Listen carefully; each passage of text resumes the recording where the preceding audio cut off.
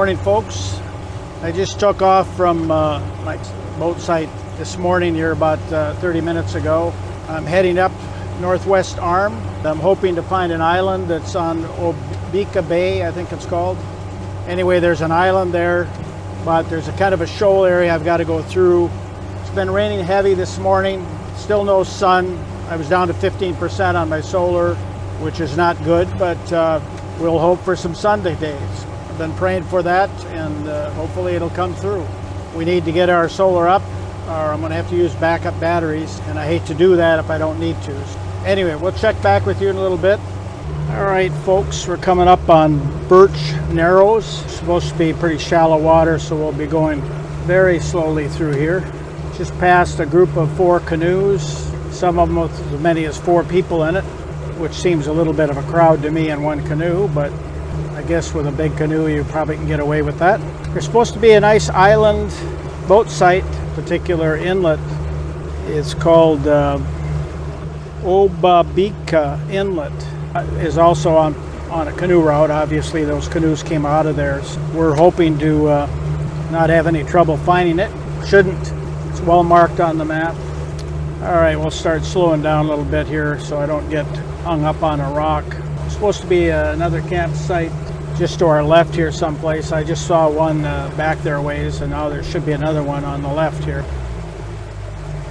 All right, we'll slow down and keep an eye out on that for that campsite and rocks.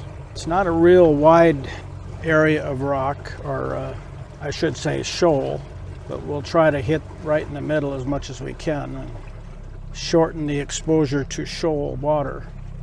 It's not marked, which is interesting, so that must mean that it's not as shallow as uh, it might be. All right, we should be coming up on the shallower water. Got 46 feet though, so maybe it's not accurate. Now it's coming up. But we should be hitting shoal water right here, and we're still 46 feet. 40 feet, tents, people at that campsite. 38 feet. I think it's a false depth here. 36 feet, 34 feet.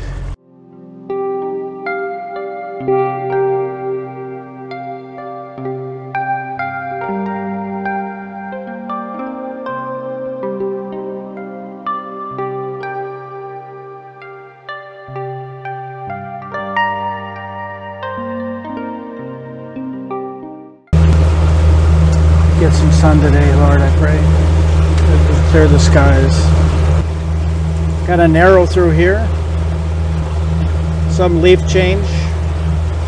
Not real bright though.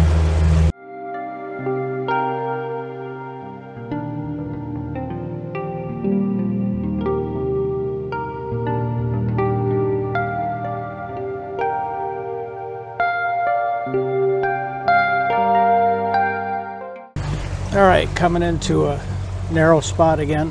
Move slowly through here. Shouldn't be any obstructions, but we just want to make sure. 29 feet, plenty deep. 29, 30 feet. Should be a campsite coming up on our right. Check that out. Should be on that little point on our right there that you can see. Still 20 feet through here. We'll edge a little closer to the left. It's deeper over there.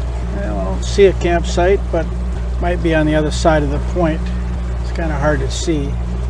Yeah, let's see, which way do we go here?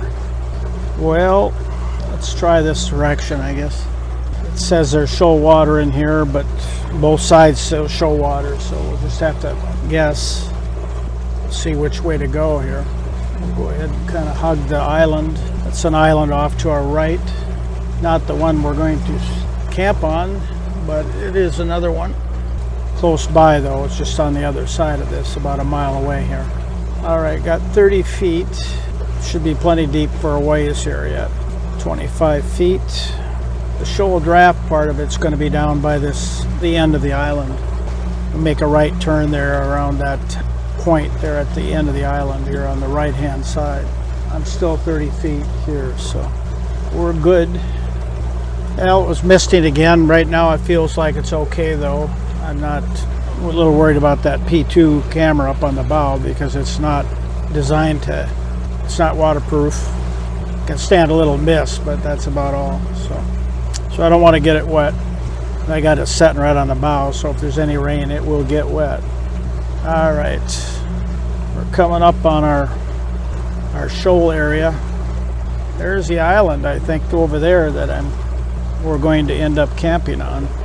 And I don't see a boat or anybody there. That's a good thing. Been fortunate so far with as many boats as out here. I, I'm not seeing the conflict with the sites that I did up on uh, Namakan and Kabetogama Voyageurs National Park. That place had a crowd all the time. Still showing 25 feet, but our shoal area is coming up here now, so try to head right like this. For now, it looks okay. 12 feet. Okay, we're coming up. Slow way down. 15 feet. I'm not seeing bottom yet, but 16 feet, 18 feet, 22.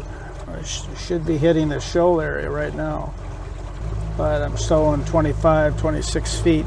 I don't know, these shoals are not as accurate as I thought they would be. Yeah, I don't think it's there because we're over the shoal area now. So all these cabins that are along in here are abandoned. There's nobody here, I guess, end of the season for most of these people. Okay, we're out of the shoal area. I'm not sure if that island is the right one. I think that island there, uh, yeah, that's not the island. It's the next one up, I think. Yeah, it's further up along the way here. Oh, that's it, that's it. Oh, that is the island. Okay, where do I want to be though? To land on this side or, or is there a place on the other side? Let's look, let's take a look and see. Big log there. So there must be either a lot of current or stuff through here. Looks like somebody left something there. It's supposed to be a shoal in here too, so take a look on the back side. See if there's a spot that we can tie up on the back side here so we're not exposed to the wind. There's not that much open area, but still rocks are a little sharper on this side. 64 degrees water temperature. Actually 63.5. It's a little colder than before, almost too cold to swim. All right, I don't know if I can go through here or not. We're gonna just try it, but it says there's shoal water in here, but I'm showing 22 feet. But we'll have to be careful. I'm just trying to see if there's a spot here on the back side that I can. Looks like the smoothest rock is on the other side, so I may have to go over there anyway. Well, I don't know. There's maybe a spot right there. Somebody cut up a bunch of firewood. All right, let's try that. We're going to turn around and try this spot. Looks like there would be a spot there, but we'll see what it looks like when we get in closer. Okay, the wind is from my right. Let's go ahead and move in there now. And I'm going to try to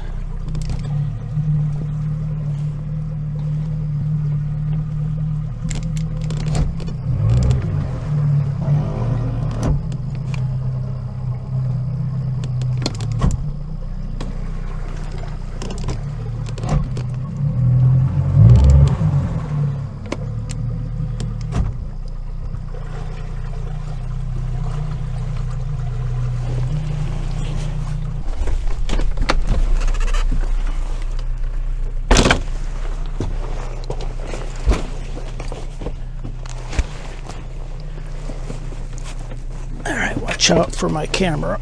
Make sure the rope is on the right side.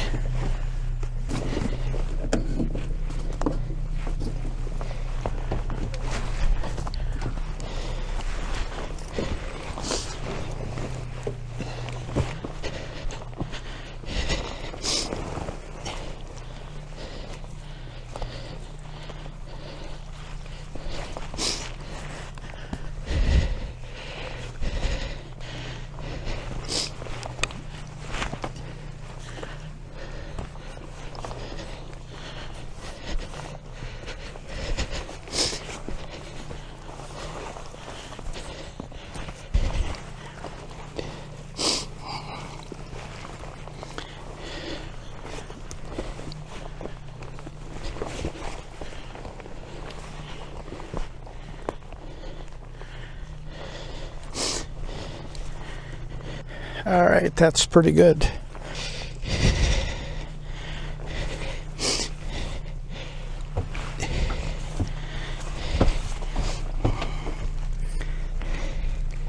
Uh, good evening, folks. Uh, I'm sitting inside because it's still kind of gloomy outside with rain threatening, cloudy weather.